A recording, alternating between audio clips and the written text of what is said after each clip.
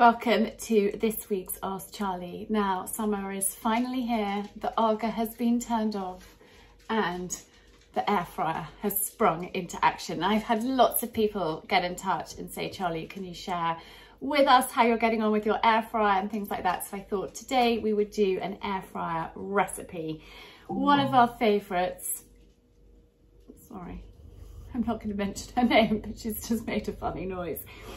Um, chicken thighs. So these chicken thighs are from the butchers.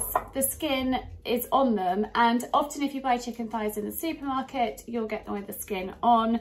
You can cook them with the skin on, you can take the skin off. I thought I would just share with you how I take the skin off because lots of people are like put off buying things because of that and you've just got to go for it. Get your hands involved. I have got a sharp pair of kitchen scissors too. These are Kitchen Devils and I find Kitchen Devil scissors excellent, really good quality. And I find if you buy good quality, they last a long time. And, um, you know, like buy better, buy once. Is that the motto? So you literally just like taking the skin off a chicken breast, just pull it off. But I find with chicken thighs, you do need to get the scissors a little bit involved too. Obviously, I have washed my hands uh, before doing this. And make sure your hands are thoroughly scrubbed and just pull the skin off like that. And then if you've got bits of fat still on there, you can just chop it off using your sharp scissors. And I just find these Kitchen Devils excellent I have got another pair of scissors over there, which are pretty useless, and I just keep them um, for, I don't know, like wrapping presents and stuff like that. Um, so just trim off the fat. And then you can, well, I'll talk about that in a minute, um, but I'm going to marinate mine in this bowl. So I'm just going to whiz through and prepare all of these. It's also a lot cheaper to buy meat with the skin on, chicken with the skin on. So that is also something to be mindful of, particularly skinned chicken breasts. They're so expensive. And I find um, actually chicken thighs have more flavour. They have great flavour. So, um, you know, that's something to consider as well. Chicken breasts are all ready in there and I'm just going to crush some garlic cloves and I will leave um, a link to the recipe which will be on my website for you. So just peel your garlic cloves and I just chop them in half because it makes it slightly easier to crush. I love this garlic crusher and I will leave it linked um, below as well. It's just brilliant. Add in the crushed garlic,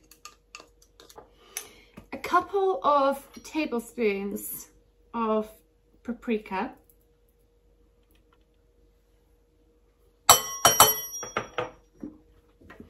a couple of tablespoons of olive oil.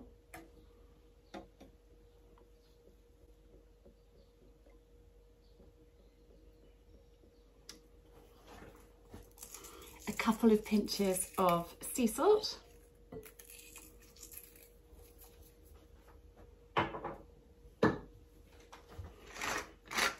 Some freshly ground black pepper.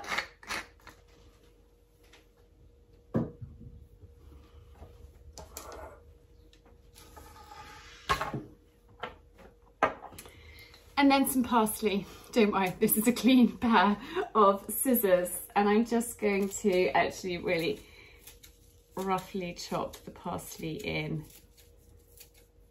And I'm going to add a little bit of lime juice just to give it a little zing. Just the juice of half a lime. And then give that a mix through.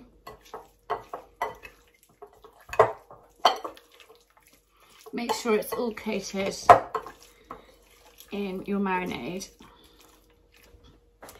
And then I'm just going to pop a plate over and put that in the fridge for at least a couple of hours before you want to cook. You can even do it overnight. It, it depends, um, you know, on your timings, but at least two hours.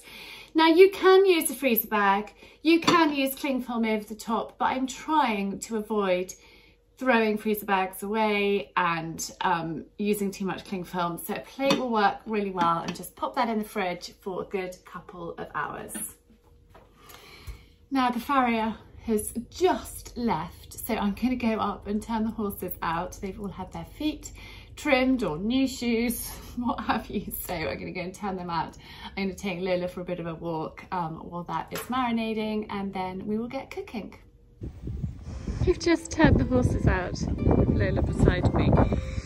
And I just had to show you these quickly. I know we're supposed to be talking about chicken and the air fryer, but my peonies are just so exciting. The colours, pale pink, bright pink, and white over there. Look at that. This is the first year. They are blooming and looking, blooming fantastic, if I do say so myself.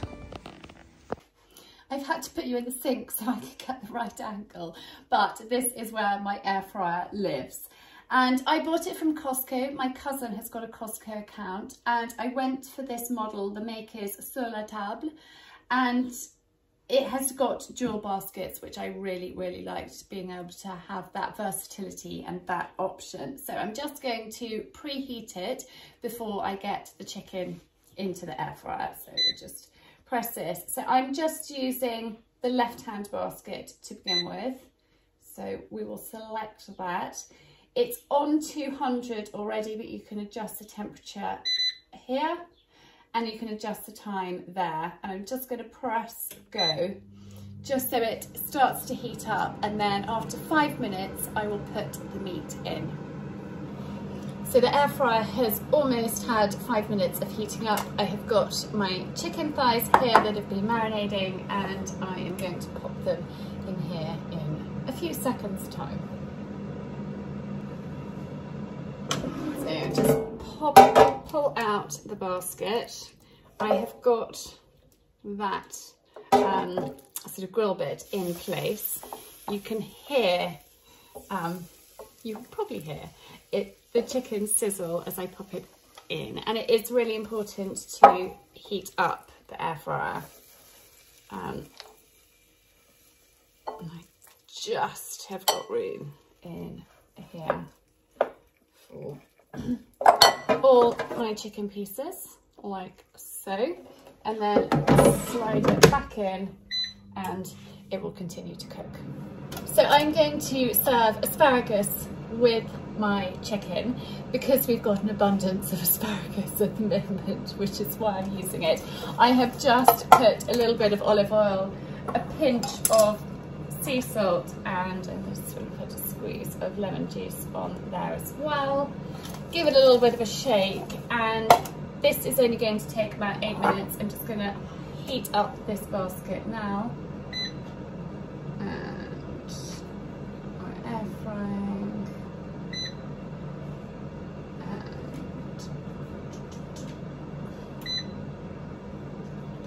Just heating that one up and then I will pop these in there Lola at my feet. She's had a very nice walk, haven't you? And you just like to be beside mummy as much as possible. Can't see her, but she's just there. It's time to add in the asparagus. Just that little toss. I have got different coloured tongs, which I find really helpful, so I know which ones I can use on, um, you know, raw meat and cooked meat and things like that. And I just find that helpful. So just slide that in and leave that to do its thing. I could have adjusted the timer so it just had like 12 minutes heating up time and then eight minutes cooking time.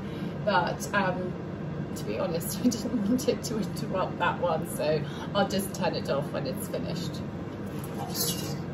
It's also very clever. It beeps and tells me when it's time to shake. So um, it's quite handy.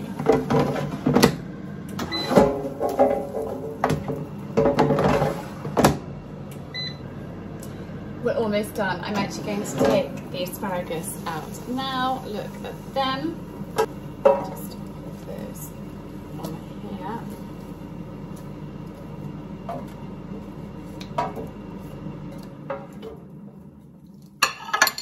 Okay, slide that back in. It will just finish cooking for the last, uh, the last little bit. And there is my chicken, perfectly cooked. And then I just turn that oven off as well. And just like that, lunch is ready. I um I find it so easy using the air fryer. It really is um, easy and effortless. And actually I quite like having the timer and then I know how long I have got. I'm actually going to have two pieces of chicken for lunch because I am super hungry. And I'm just going to serve it with some lentils. I'm just, oh, I've made a mess. Um, I'm just going like super, super, super easy lentils and asparagus. Um, and these are just herby lentils. I will show you what they are. They're my sort of quick cheat lunch if I'm in a hurry and I don't have time to, you know, make something. These are my go-to. So they are the Merchant Gourmet Tomatoey French um, Puy and green lentils and I just find them so easy. And then you can kind of dress them up. You can add mozzarella, you can add all sorts of things to them. You could serve them with feta, you could serve them in lots of different ways, but I think they're just a great, um, a, a great easy kind of go-to thing. And then I'll pop my asparagus on here and sit down and enjoy my lunch. Si's actually um, coming back to the office for lunch so there is enough for both of us and there's some leftover chicken for the children as well that they can enjoy this evening so that is my very quick air fryer chicken and an asparagus and I just love having the dual basket because you can do two things at once and that's why I went for this model I know I've mentioned that before but it's something when you're you know making a purchase to really give it quite a lot of consideration. And I talked to quite a few people about it. I got lots of advice.